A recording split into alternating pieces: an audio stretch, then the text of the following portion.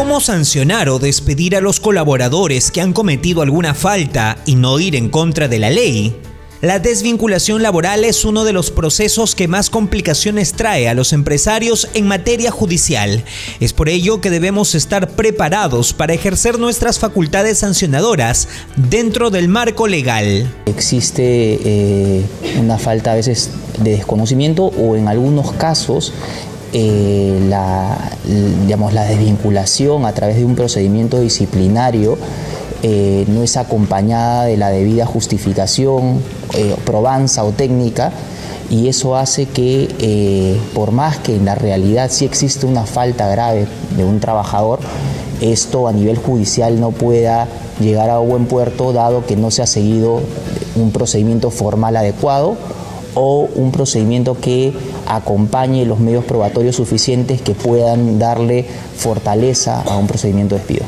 Renan Mantilla, experto en temas laborales, participó de una capacitación para empresarios en la Cámara de Comercio y reveló que una de las contingencias más comunes a las que se enfrentan los empleadores es proceder a despidos y sanciones sin los medios probatorios suficientes.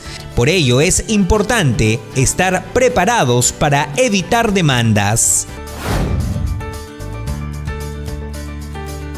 Aparecer en los primeros lugares en las búsquedas de Google se ha convertido en una meta que muchas empresas quieren lograr. Eso se hace aplicando correctamente las técnicas del posicionamiento SEO.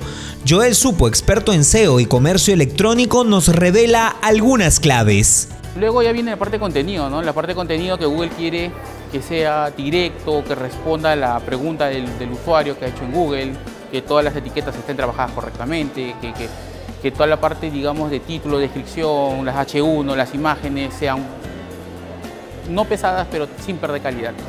¿no? Yo con eso Google te, va a considerar, pero de ahí nosotros tenemos que hacer un trabajo de hormiga, ver todas las semanas cómo va la competencia, antes de eso hacer una estrategia en qué palabras claves debemos atacar, cuáles son, primero ganar las, de nosotros, qué marca somos, ganar esas, luego ganar la de la competencia, con las que salimos a competir. Y de ahí ya comenzar a hacer un tema de mantenimiento web constante.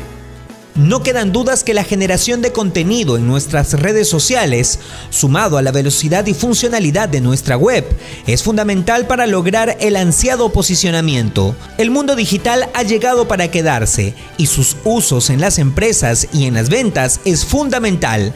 Por ello, debemos sacarle el máximo provecho.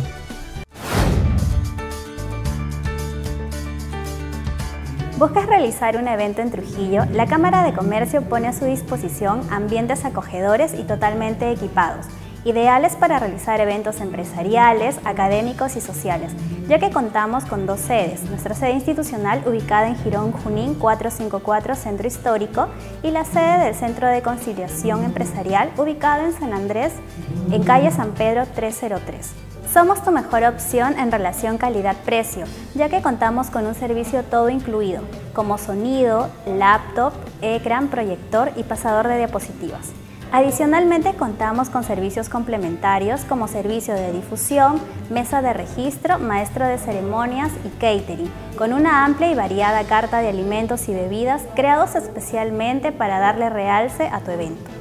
Para informes y reservas, ubícanos en Girón Junín 454, Centro Histórico de Trujillo, o comunícate al 044 48 42 10, anexo 24.